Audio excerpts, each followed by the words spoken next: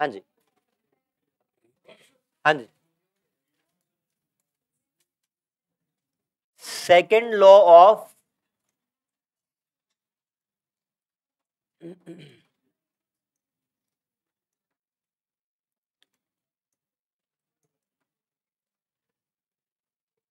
second law of thermodynamics आप बताएँ, जो पहला लॉ है फ़र्स्ट लॉ जो हमने बात करी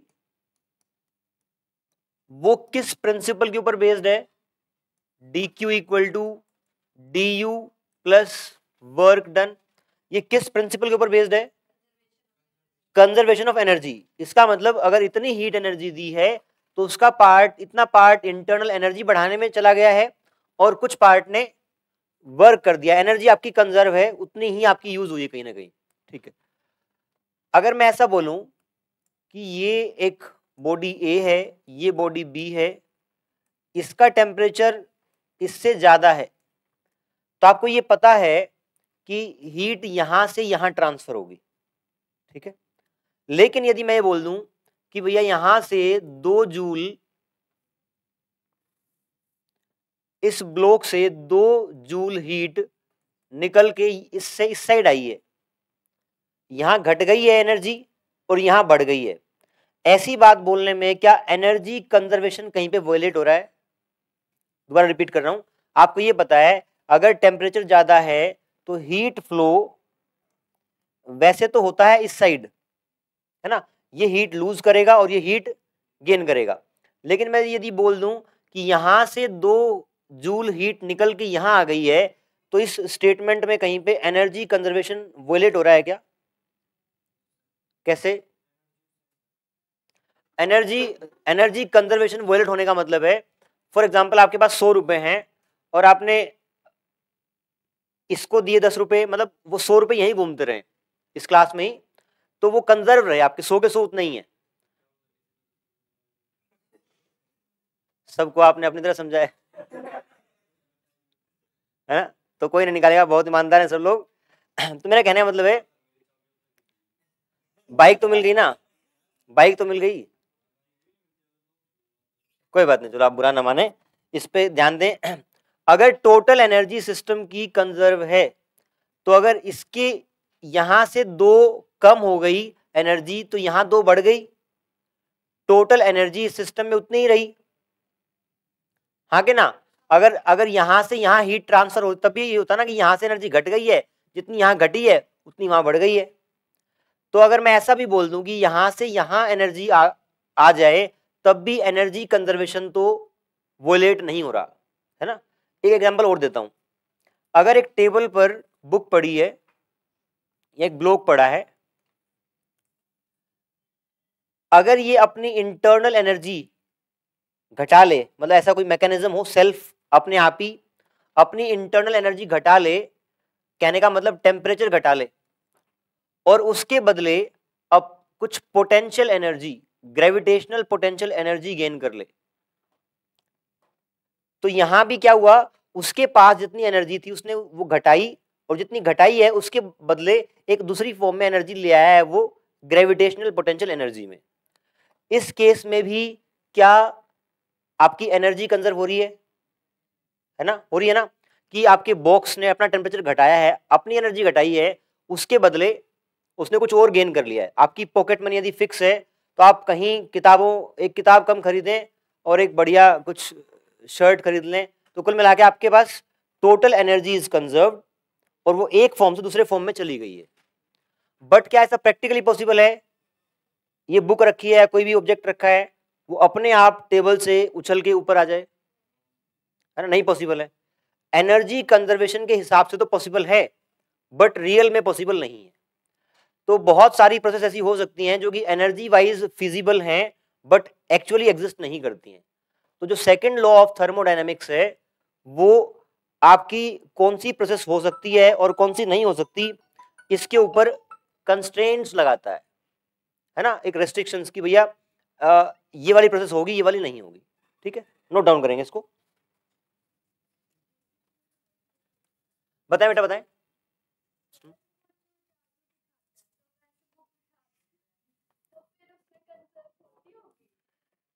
जादू से बुक उठ जाती है या पहली बात तो जादू क्या है? मेरी बात सुनो आप। जादू आपकी हाथ की सफ़ाई है। जादू आपकी हाथ की सफ़ाई है, वो आपको बस चीज़ें घुमा फिरा के दिखाना होता है, वहाँ पे फिजिक्स कहीं वोलेट नहीं होगी। ठीक है? हाँ जी। नोट करेंगे, पहला पॉइंट लिखें। A book lying on table पहला बुलेट पॉइंट है एग्जांपल दे रहा हूँ पहले। A book lying on table not jump to a height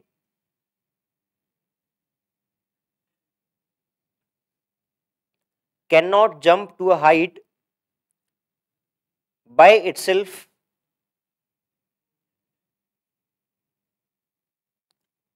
by decreasing its temperature by decreasing its temperature bracket में लिख लेंगे although here energy energy conservation principle energy conservation principle is not violated is not violated as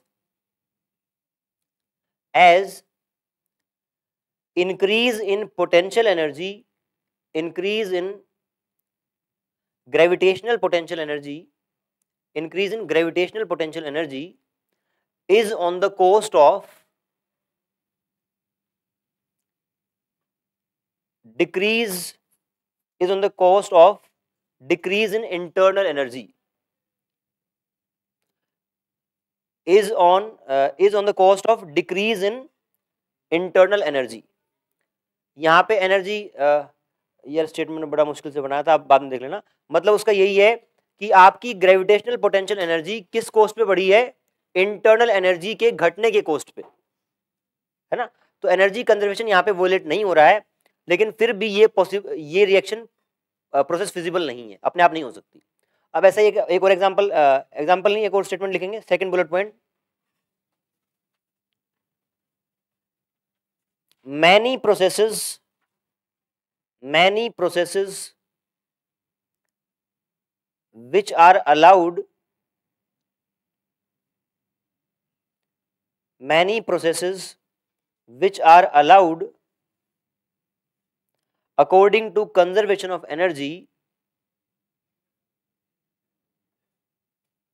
many processes which are allowed according to conservation of energy but do not take place in nature. But हाँ जी according to conservation of energy but do not take place in nature ठीक है? Full stop second law second law put some extra restrictions second law put some extra restrictions which disallows such processes, which disallows such processes. ठीक है? इसके बाद आप दो statement लिखेंगे,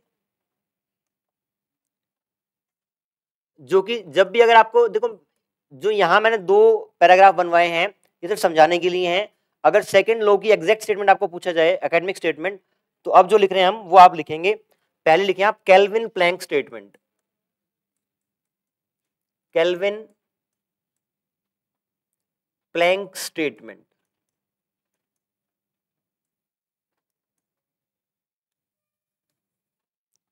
लिखिए आप no process is possible no process is possible whose sole result whose soul S O L E whose sole result is the absorption of heat is the absorption of heat from a reservoir दोबारा बोल रहा हूँ no process is possible whose sole result is the absorption of heat from a reservoir reservoir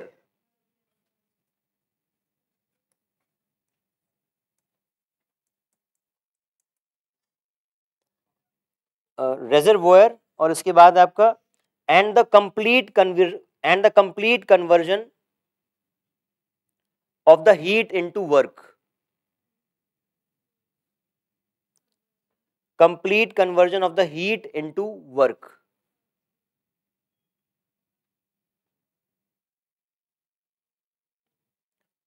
Second statement देखेंगे। Second का नाम है Clausius statement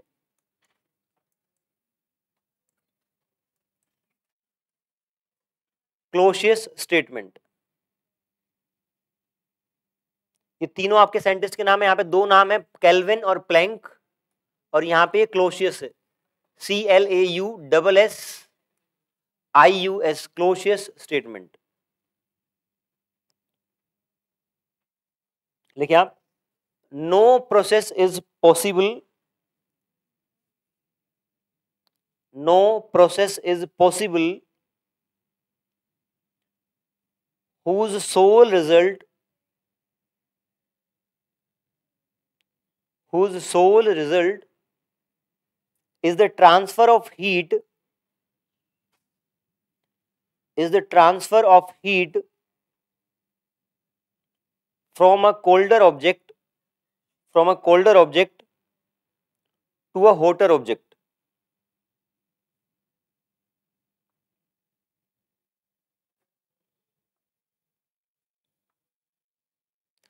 देख लें दोनों का मतलब क्या है सेकंड स्टेटमेंट बोल रही है कि कोई भी ऐसी प्रोसेस नहीं हो सकती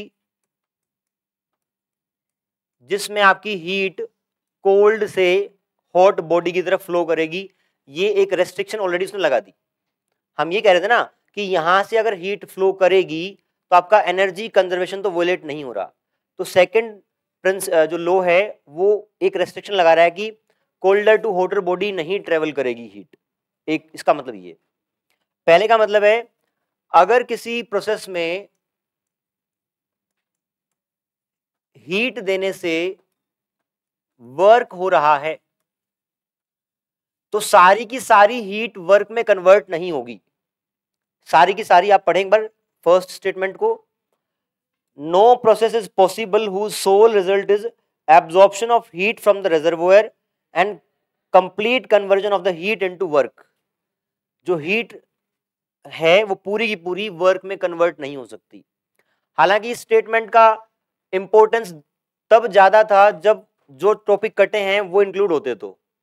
वहाँ पे आपके हीट इंजन और रेफ्रिजरेटर के टॉपिक थे, जिसमें इसको काम आना था। बस इसमें आप इतना समझ सकते हैं कि आपने ये स्टेटमेंट सुनी है, जब भी आपकी एनर्जी एक फॉर्म से दूसरे फॉर्म में कन्वर्ट होगी तो वो कंप्लीटली कन्वर्ट नहीं होती। कहीं ना कहीं लॉस होगा है ना? जैसे अगर बाइक की बात करें आ, अगर आपका वन के पेट्रोल या वन लीटर पेट्रोल को अगर हम एक आइसोलेटेड सिस्टम में हीट उसको जलाएँ कंबशन करें तो जितनी एनर्जी प्रोड्यूस होगी फॉर एग्जांपल एक लीटर पेट्रोल को जलाने से आइसोलेशन में 100 जूल हीट प्रोड्यूस हुई, ठीक है? आपकी इस 100 जूल से आपकी बाइक चली, उसकी काइनेटिक एनर्जी है तो वो जो काइनेटिक एनर्जी का फॉर्म है लेट से वो आपको ये वाली हीट जो यहाँ से खर्च हुई है काइनेटिक एनर्जी के फॉर्म में 80 जूल ही मिले। जब भी आपकी एनर्जी एक फॉर्म से दूसरे फॉर्म में कन्वर्ट होगी तो कुछ ना कुछ पार्ट आपकी एनर्जी का लोस्ट होता है। यही पहले स्टेटमेंट में बोला है कि पूरे का पूरा पूरी पूरी हीट आपकी वर्क में कन्वर्ट नहीं होती है। ठीक है? बस आपको इसको थियोरेटिकली याद रखना है, कोई सवाल नहीं आएगा इस पर आएगा तो ये दोनों स्टेटमेंट आपको लिखना है। जब भी सेकेंड लॉ ऑफ़ थर्मोडाइनमिक्स पूछे तो आपको ये दोनों स्टेटमेंट लिखना है। ठीक है? थियोरेटिकल पार्ट डन अब करेंगे सवाल।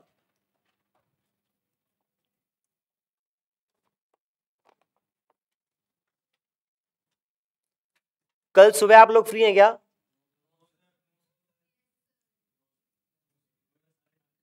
ठीक है, सवाल लिखें। Pressure of one mole monatomic gas pressure of one mole of monatomic gas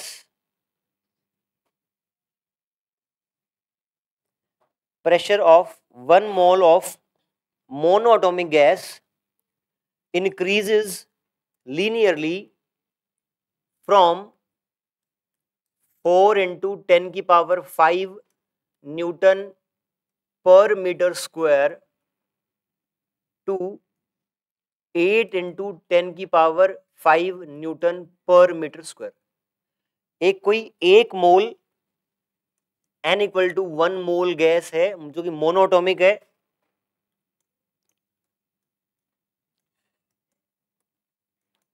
इसका प्रेशर लीनियरली बढ़ता है इस वैल्यू से, इस वैल्यू तक।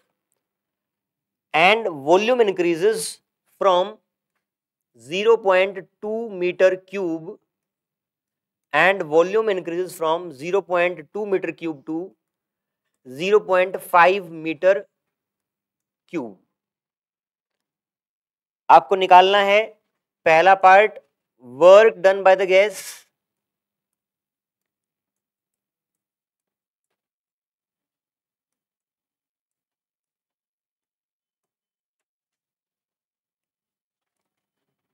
second increase in internal energy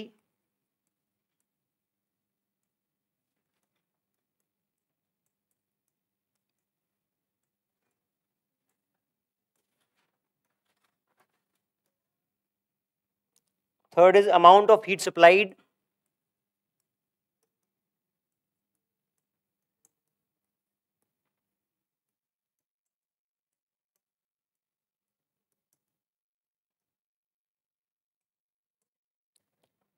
And fourth is molar heat capacity of gas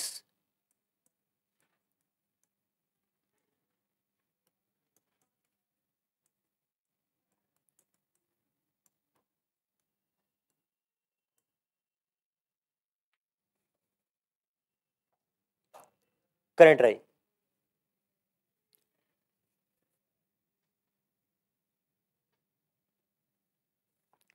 एक बात ध्यान रख लें अगर मोनोटोमिक गैस है,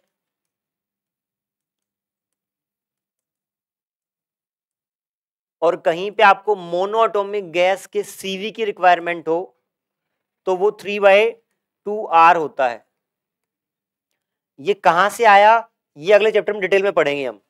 इस चैप्टर में आप CV for a monatomic gas याद कर लें three by two C R होता है। अगर सीपी निकालना पड़े कहीं मोनोटोमिक का तो आर ऐड कर देंगे फाइव बाई टू आर हो जाएगा। अगर डाइएटोमिक का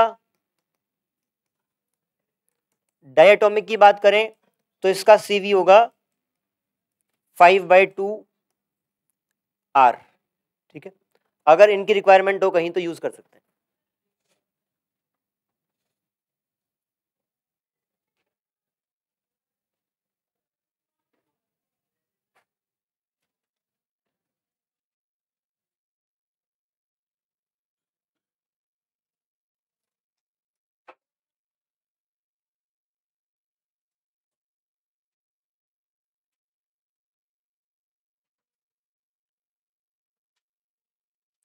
हिंट है वर्क डन निकालना है प्रेशर आपका लीनियरली इंक्रीज कर रहा है, सबसे पहले पीवी ग्राफ ड्रॉ करें। और पीवी ग्राफ ड्रॉ कर लेंगे, उसके नीचे का area will give you work done एक तो ये हिंट है पहले पार्ट का। सेकंड पार्ट में निकालना है इंक्रीज इन इंटरनल एनर्जी सब जगह फॉर्मूला लगे N C V delta T N equal to one C V is given तो आप डेल्टा टी कहीं से निकालें, कैसे निकालेंगे? डेल्टा टी पता लग गया तो आपका ये आ जाएगा। अगर वर्क डन पता है, डेल्टा यू पता है, दोनों को जोड़ देंगे तो हीट स्प्लाइड आ जाएगी करंट रही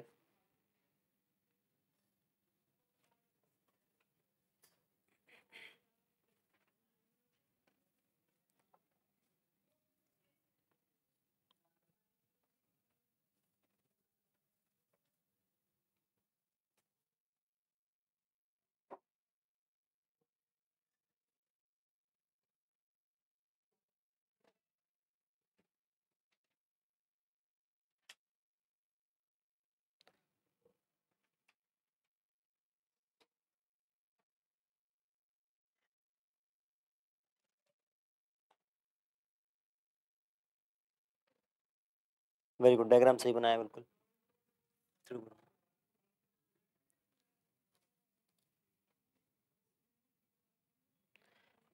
इसी ब्याह करेगा। आड़ देख। पेश करके देखे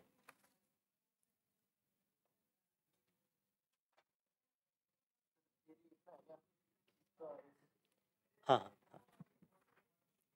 आंसर हाँ। इसका 1.5 टेन की पावर 5 जूल आ रहा है। वो आप चेक कर लेना कैसे आया। हाँ पर अपने डायग्राम ठीक बनाया, इसके नीचे का एरिया चाहिए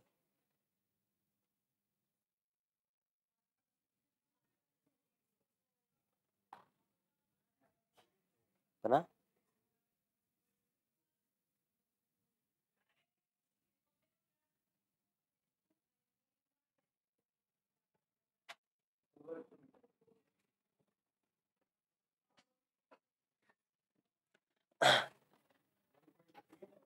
One point five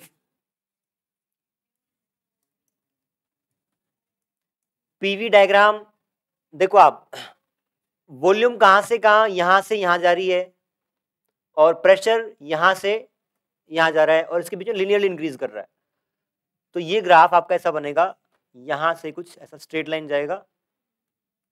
ये आप प्रेशर P1 बोल रहा हूँ मैं इसको। ये प्रेशर सॉरी ये volume V1 V2 volume V1, volume V2. This is pressure P1 and this is pressure P2. V1, V2, P1, P2 सबकी वैल्यू गिवन है तो क्या आप ये एरिया अंडर कर्व निकाल सकते हैं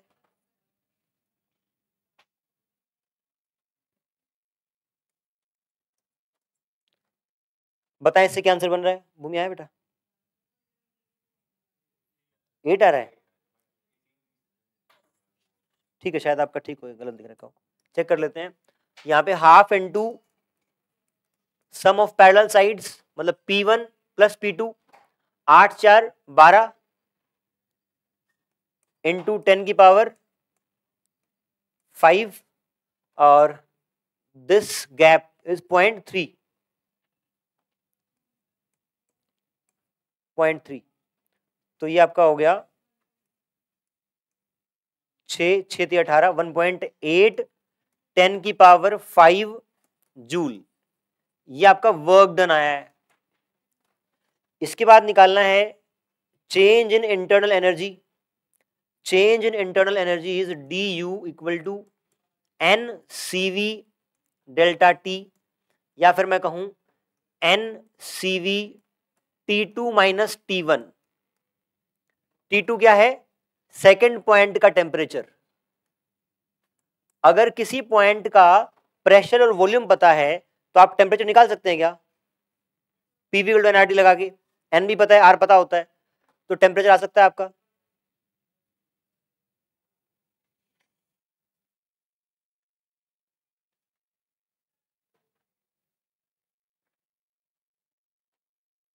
पर अलग अलग पॉइंट का टेम्परेचर निकालने से बेटर है क्या?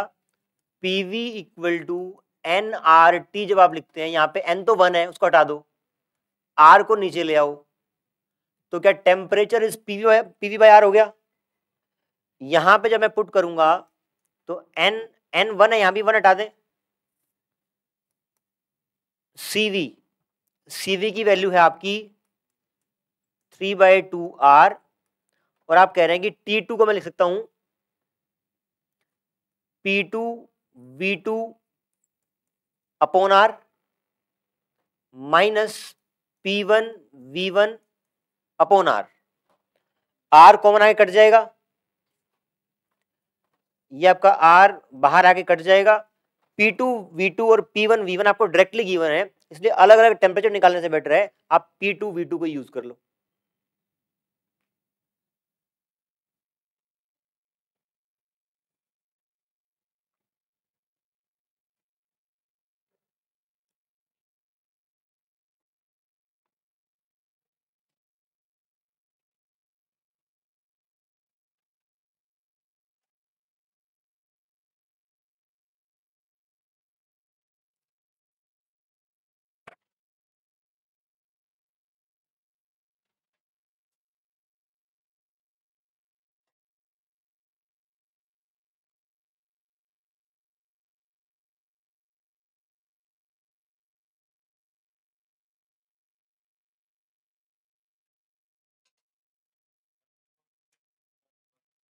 नहीं प्लस फोर पॉइंट एट आएगा यार। आप देखें, क्या इनका प्रोडक्ट इनके प्रोडक्ट से ज़्यादा होगा? तो टेम्परेचर बढ़ा है इसका मतलब? बढ़ा है तो प्लस आएगा। Delta U comes out to be ये है आपके पास 4.8 10 की पावर फाइव जूल ये डेल्टा यू है। ये वर्क डन था। डेल्टा यू आया है, दोनों को जोड़ देंगे तो क्या आ जाएगा आपका? Delta Q heat supplied first law of thermodynamics is delta Q equal to delta U plus W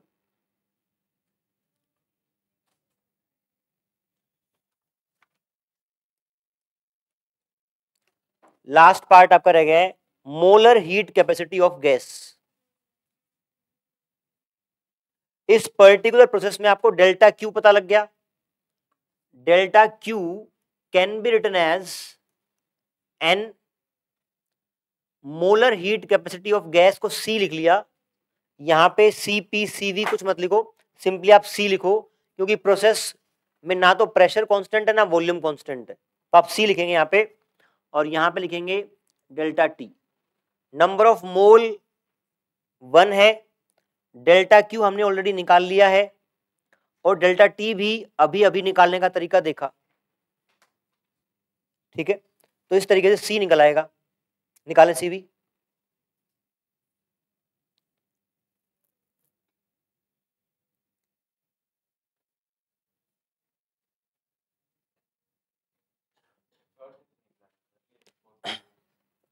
दो आ गए। दो पार्ट आ गए। थर्ड वाला नहीं आया होगा सेकंड फोर पॉइंट एट तो आया है।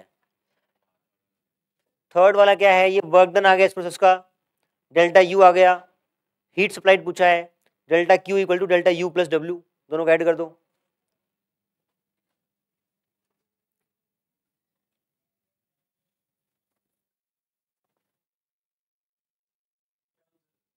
आपका इसका आंसर है सी का। सी का आंसर है आपके पास 17.14 joule per mole per kelvin. ये सी का आंसर आया है।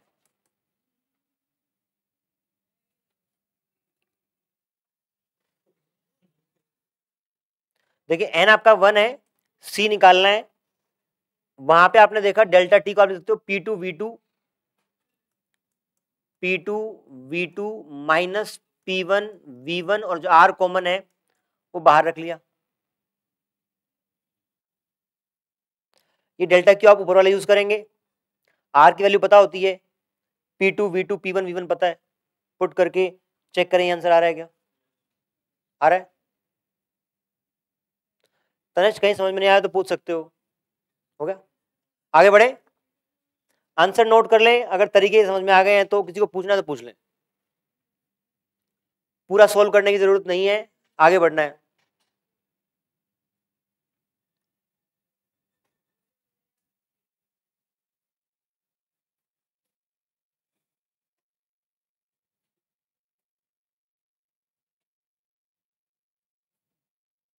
चले आगे? नेक्स्ट क्वेश्चन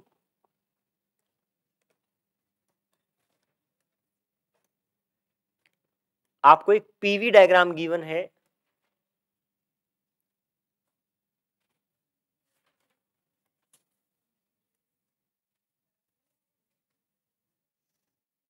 ये पॉइंट ए है, ये पॉइंट बी है, सी और डी। एक प्रोसेस में आप ए से सी जाते हैं और सी से बी, एक में ए से डी और डी से बी। और एक तीसरी प्रोसेस डिफाइन की गई है। आप बी से ए आते हैं। क्या क्या गिवन है वो देख लें।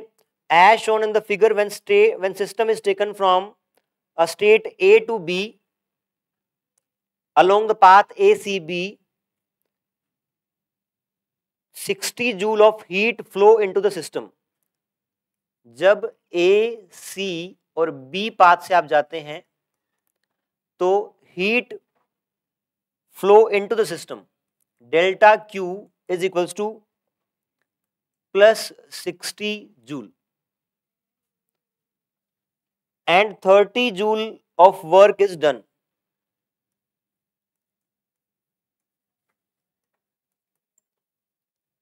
क्या बताया गया है सवाल में ये तीन प्रोसेस डिफाइन किए गए हैं आप ए सी बी से जाते हैं ए डी बी से बी तक पहुँचते हैं और एक बार बी से ए आते हैं तो ये बोल रहा है, जब आप ए से सी गए सी से बी गए, इस प्रोसेस में डेल्टा क्यू और डेल्टा डेल्टा क्यू और डब्ल्यू गिवन है। यहाँ तक सवाल है, इस, अब आप इसके फर्दर पार्ट्स हैं, वो देख लें। पहला पार्ट हाउ मच हीट ये लिख लिया। अपने वर्ड्स में आप लिख, ये बना लें पहले, फिर लिखें आप how much heat flows how much heat flows into the system along the path ADB along the path ADB if work done is 10 joule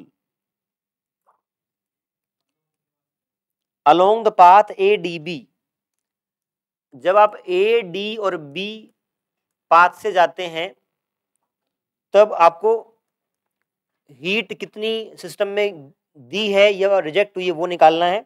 और साथ में गिवन क्या है? Work done is ten joule. ये सवाल का पहला पार्ट पहले ये करें, फिर बाद में अगला करेंगे।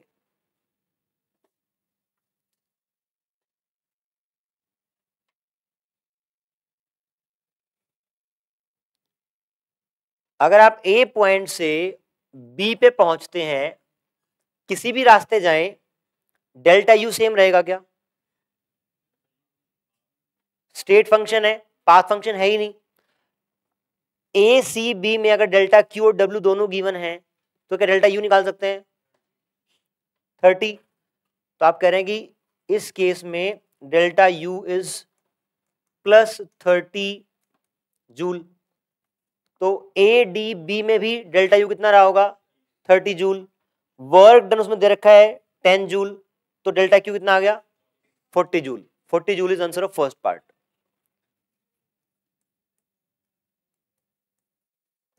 ठीक है। सेकेंड पार्ट देखेंगे इसका। लिखिए आप। Second part. When the system is return from B to A when the system is returned from B to A along the curved path along the curved path the work done by the system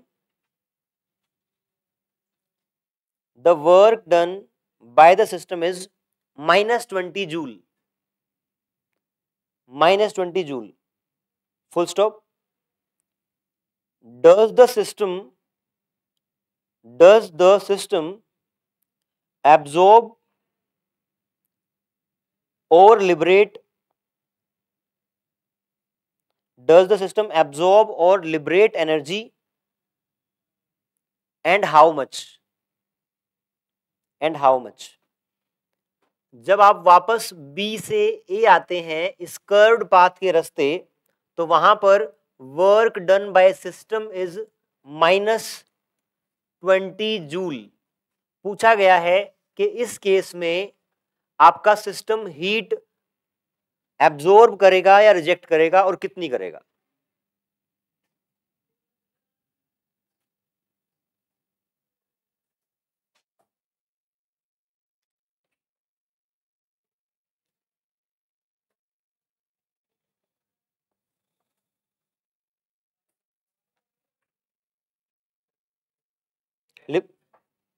ten joule लिपरेट करेगा।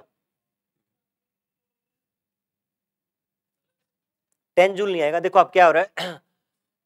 जब A से B गए इस रास्ते तो आपकी internal energy बढ़ी तीस जूल। जब वापस बी से ए आएँगे तो क्या आपकी इंटरनल एनर्जी घटेगी क्या?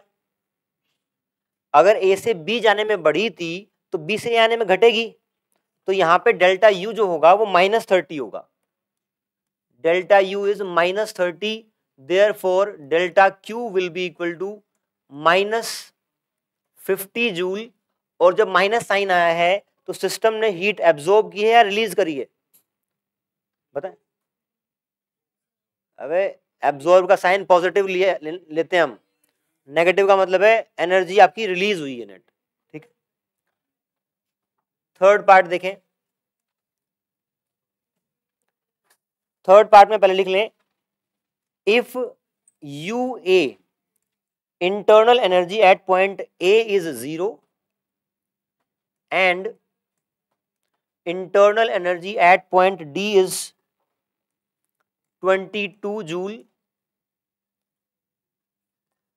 Find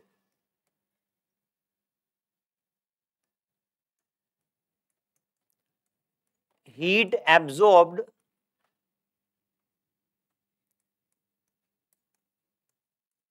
in the process,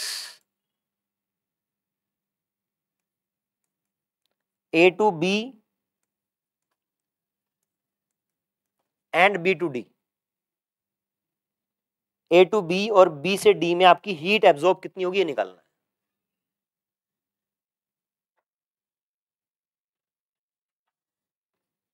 यहाँ पे पॉइंट्स की इंटरनल एनर्जी गिवन है कि सिस्टम अगर आपका ए पे है तो इंटरनल एनर्जी ज़ीरो मानी है और डी पे है तो इतनी मानी है।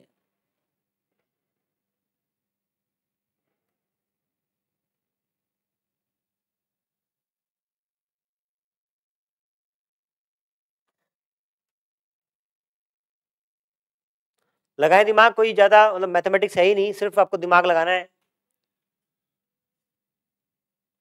जो कि आपने टॉपिक नीचे ढक लिया है, उसको डालें यार वैसे तो आते पंखा चलवाता है। एक कैब लगा डबल ट्रिपल लेयर्स लेता है तू। हाउ कॉन्ट्राडिक्टरी आर थिंग्स नहीं यार, मेरे को नहीं चाहिए यार। इतने, इतनी जल्दी हर्ट क्यों होते हैं आप लोग यार? नहीं। देखो, वे सवाल करें, सवाल फटाफट।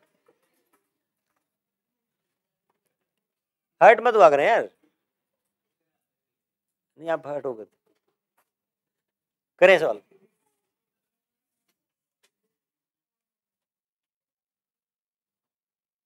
अगर कोई बुरा नहीं माना हो ना और उसको बार बार कहते बुरा मान रहा है। तो वो फिर वो, तो फिर बुरा मान जाता। तू सवाल कर तो छुट्टी तब होगी जो सवाल करेगा। आंसर आपका है इस केस में नहीं। नहीं है। सिक्सटी नहीं है। आंसर आपका पहले का थर्टी टू है, दूसरे का एट जूल है। करें ट्राई शाबाश। आप देखें ए पर आपको इंटरनल एनर्जी गिवन है ज़ीरो डी पर कितनी गिवन है? ट्वेंटी टू यहाँ पे कितनी होगी? बी पे। ए से बी जाने में आपकी इंटरनल एनर्जी तीस बढ़ी है थर्टी बढ़ी है तो बाईस तो यहाँ बढ़ गई। तो यहाँ से यहाँ तक जाएगा तब कितना होगा? यहाँ से मतलब अगर आप इंटरनल एनर्जी का डिफरेंस इस पॉइंट में, इस पॉइंट में देखें तो आठ का अंतर रहेगा। अब देखिए आपको निकालना क्या है। ए से बी पाथ का डेल्टा क्यों निकालना है? ए से बी देख दिया गया। सॉरी ए से डी मैंने गलत सॉरी ए टू डी और डी टू बी ए से डी और फिर आपका डी से बी ए से डी का वर्क डन आप देखें. अगर मैं इस रास्ते जा रहा हूँ ए डी बी सुनेंगे ध्यान से. ए डी बी में यहाँ से यहाँ तक वर्क डन होगा क्या? जब आप डी से बी जा रहे हैं, इस रास्ते वर्क डन होगा कि नहीं होगा? क्यों नहीं होगा? वॉल्यूम कांस्टेंट आपकी नहीं बदल रही है। तो यहाँ वर्क डन हुआ नहीं। यहाँ देखिए आप ए डी बी रास्ते जाने पे टोटल वर्क डन चालीस हुआ है। जब यहाँ से आप यहाँ जाएँगे तो टोटल वर्क डन चालीस है और इस रास्ते में हो नहीं रहा तो इस रास्ते का वर्क डन कितना हुआ? चालीस।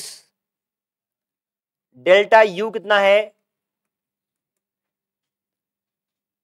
डेल्टा यू इज़, नहीं वर्कडन दस दे रखा है सॉरी यहाँ पे। ये वर्कडन दस गिवन है। ए डी बी रस्ते का वर्कडन दस है। डेल्टा यू आपका प्लस बाईस है। तो डेल्टा क्यू कितना आया? इसका डेल्टा क्यू क्यू कितना आया? Thirty two. नहीं समझ में आया। तो बताओ। यहाँ पे देखें। ए डी बी रस्ते का। ए डी और बी रस्ते का वर्क डन दे रखा है दस जूल। और आप कह रहे हैं कि यहाँ से यहाँ तक तो वर्क डन होगा नहीं। तो जो दस जूल है, सारे का सारा यहाँ हुआ होगा। और यहाँ से यहाँ तक की इंटरनल एनर्जी का चेंज बाईस है। यहाँ ज़ीरो था, यहाँ बाईस है। निकालना क्या है? Heat absorb in the process A D A से डी तक वर्क डन भी पता लग गया, डेल्टा यू भी पता लग गया। दोनों को जोड़ दिया तो कितना आ गया? Delta Q equal to thirty two joule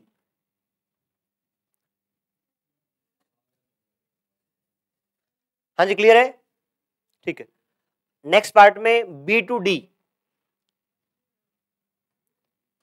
check कर लेता हूँ एक बार। ये आपका सॉरी डी टू बी यार, ये मैंने गलत लिखा डी टू बी अंतर इतना ही पड़ेगा कि वो साइन चेंज हो जाएगा। डी टू बी में वर्क डन कितना है? ज़ीरो डेल्टा यू कितनी है? आठ। डेल्टा क्यू कितना हो जाएगा? Eight joule. सवाल डन आपके दोनों ही सवाल बहुत बढ़िया थे। सिर्फ़ आपको इसमें तो कैलकुलेशन है ही नहीं, दिमाग लगाना है बस। ठीक है? इतना ही करते हैं आज।